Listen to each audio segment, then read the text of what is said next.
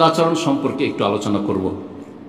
পিতামাতার সাথে সদাচরণ কেমন করে করবেন মারা যাওয়ার পরে? বলেছেন একটু আগে, বেঁচে থাকাকালীন যেগুলো সদ্ব্যবহার করা সম্ভব, শারীরিকভাবে, আর্থিকভাবে দোয়ার মাধ্যমে, আরও ভালো কথার মাধ্যমে, পয়সা দিতে পারছেন না কিন্তু ভালো কথার মাধ্যমে, সেবা শুশ্রূষার মাধ্যমে, দেখাশোনার মাধ্যমে, পরিচর্যার মাধ্যমে, ইত্যাদি। কিন্তু ইন্তেকালের পরে কেমন করে আমরা ভালো আচরণ করব, বিরুল ওয়ালেদাইন করব। এহসান করব অবিল ওয়ালেদাইন, এহসানা কেমন করে। এই মর্মে আবু দাউদ একটি হাদিস রয়েছে, হাদিসটা জয়ীফ সানাদের দিক থেকে, কিন্তু তার অর্থগুলি সবগুলি কোরআন সন্ন্যার দলিল দিয়ে স্বীকৃত। কোন কোন হাদিস, হাদিসের সনদ হিসাবে স্টাডি যখন করতে যাবেন বা মহাদিসনা করেছে, ওই আলোকে হাদিস জয়ীফ। কিন্তু তার কথাগুলি তো সবই ঠিক আছে, অমুক আয়াতের আলোকে, অমুক হাদিসের আলোকে, অমুক হাদিসের আলোকে সবগুলি কথা ঠিক। এইরকম ধরনের এই হাদিস, এরকম অনেক হাদিসই রয়েছে। হাদিস, মালিক বিন রবি আল্লাহ বর্ণনা করছেন, বলছেন আমরা এক সময় রাসুল বসেছিলাম ইস জাহুর রাজলিন বানি সালামা? বানি সালামার একজন ব্যক্তি, জনৈক মানুষ আসলো, ইয়া রাসুল আল্লাহ বলে আল্লাহ রসুল, হাল বা কেমিন বীর আবাওয়াইয়া সেই আমার মাতা পিতা মারা গেছে, তাদের সাথে কি ভালো কোনো আচরণ করার কোনো রাস্তা আছে? আর ভালাই করব, তাদের সাথে সদ্ব্যবহার করব, বের করব। এইরকম কোনো রাস্তা আছে? আবার রহমা বাদা মতেহমা। আবার রহমা বেহি বাদামাও তেহমা তাদের ইন্তেকালের পরে তাদের সাথে এই ভালো কাজগুলির মাধ্যমে সদাচরণ করব, যদিও তারা দুনিয়া থেকে চলে গেছেন। কালো নাম হ্যাঁ অবশ্যই করতে পারো। বলে আসলাত আলাই হেমা তাদের জন্য রহমতের দোয়া। সলাত মানে রাহমা। রহমতের দোয়া করা। রব্বির হমা কামা রব্বায়ানে সাগিরা। হে আল্লাহ, তুমি রহম করো পিতামাতার ওপর।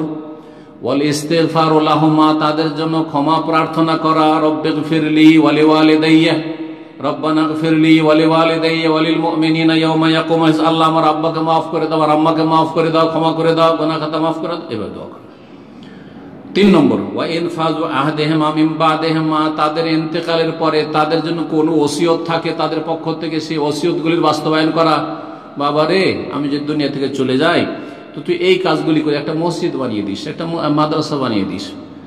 একটা এতিমখানা করে দিস, অথবা একটা এতিমের লালন পালন করিস, ওইটা আমার কাছে নেকিটা পৌঁছিতে থাকবে। বাবার এই মসজিদে পাঁচটা ফ্যান দিয়ে দিস, গরিব গরিবের মতো করে, ধনী ধনীর মতো করে। কেউ মসজিদ তৈরি করতে পারবেন তো কেউ তো এক বস্তা সিমেন্ট দিতে পারবেন কেউ তো একটা ফ্যান দিতে পারবেন তাই না? এইভাবে তিন নম্বর চার নম্বর হচ্ছে আল্লাহ আত্মীয়তার সুসম্পর্ক বহাল রাখা মায়ের বা মাধ্যমে বাপের মাধ্যমে। মায়ের মাধ্যমে নানা নানি যদি বেঁচে থাকে, তাদের সাথে সদ্ব্যবহার করা। মামা খালাদের সাথে সদ্ব্যবহার করা, মামাতো ভাই, খালাতো ভাই তাদের সাথে সদ্ব্যবহার করা ওই বংশের সাথে। আর বাবার ওসিলাতে হ্যাঁ দাদা দাদি যদি বেঁচে থাকে, চাচারা আছে, ফুফুরা আছে, এইরকম চাচাতো ভাইয়েরা আছে, চাচাতো বোনেরা রয়েছে, তাদের সাথে ফুফাতো ভাই, ফুফাতো বোন রয়েছে, তাদের সাথে সুসম্পর্ক বহাল রাখা। কিসের খাতিরে? কার খাতিরে এগুলো?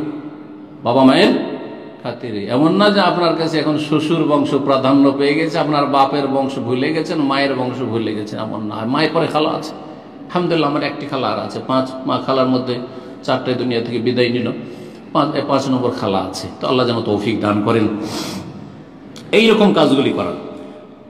আর পাঁচ নম্বর হচ্ছে, পাঁচটা হলো না ছয়টা হলো? পাঁচ হয়ে গেছে, তাই না? ছয় নম্বর হচ্ছে ওয়েকরাম ও সদি কেহেমা পিতা মাতার যদি বন্ধু বান্ধবী কেউ থাকে, তাদেরকে সম্মান করা। মায়ের কাছে এসে গ্রামের এক মহিলা বসতো, বা পাশের প্রতিবেশী মহিলা খুব খাতির রাখতো, দরদি ছিল এসে বসতো। মা চলে গেছে, তারপরে ওই মহিলা আপনার বাড়ি আসার কোনো স্থানই পায়নি। কার কাছে এসে বসবো? মাঝে মাঝে ডাকে।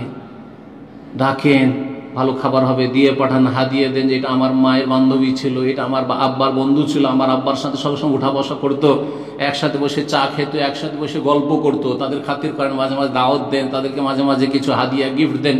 এইভাবে রামসদিকে